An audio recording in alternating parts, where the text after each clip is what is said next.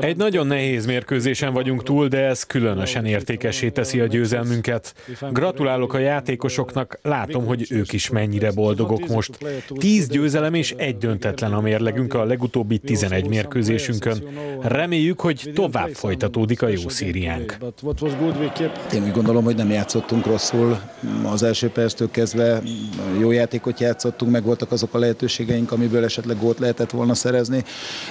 Meg volt az a döntő momentum, amit megint nem ítéltek meg a javunkra.